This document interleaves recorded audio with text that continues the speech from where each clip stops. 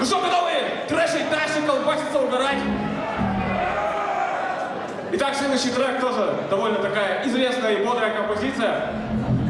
С альбома Ride Fucking Lightning! Кто помнит такой альбом? Заглавная композиция с альбома Ride the Lightning!